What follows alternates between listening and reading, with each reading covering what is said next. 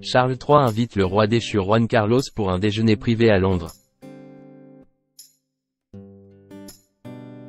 Comme l'a révélé El Mundo, le roi Charles III devrait recevoir Juan Carlos, durant la semaine du 17 avril, afin de déjeuner avec lui en toute discrétion, un peu avant son couronnement. Selon les informations du quotidien espagnol El Mundo, rapportées le 10 avril par le Daily Mail. Le roi déchu Juan Carlos s'apprête à quitter momentanément Abu Dhabi, aux Émirats Arabes Unis, où il réside depuis son exil, pour une rencontre importante.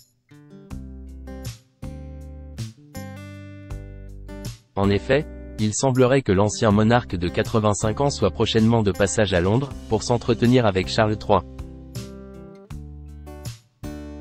Le père de Felipe VI, de Christina et d'Elena devrait donc, la semaine prochaine, celle du 17 avril, donc, partager un déjeuner en toute intimité avec le souverain britannique.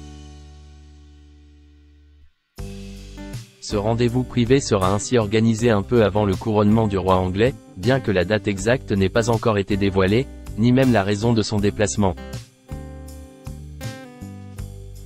De plus, après s'être entretenu avec le monarque, Juan Carlos devrait ensuite s'envoler pour la station balnéaire espagnole Sanchencho.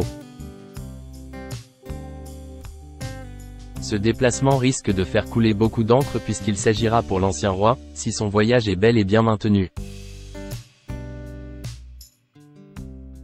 De sa deuxième visite au sein du pays, depuis que les accusations de corruption le visant et son départ précipité au Moyen-Orient, en août 2020. La première fois qu'il était revenu en Espagne, c'était en mai dernier, afin d'assister à une régate. Une présence très probable pour le couronnement de Charles III. Lors du couronnement du roi Charles III, de nombreuses personnalités du monde artistique, royal ou politique seront présents. Dans le lot, il devrait y avoir le roi d'Espagne, Felipe VI, son épouse Laetitia d'Espagne mais il semblerait que Juan Carlos aussi ait reçu une invitation pour participer à la fameuse cérémonie. L'occasion pour l'ancien monarque, mis de côté par la couronne, de quitter Abu Dhabi, sa terre d'exil. En février dernier, il avait rejoint Paris, pour un autre événement symbolique.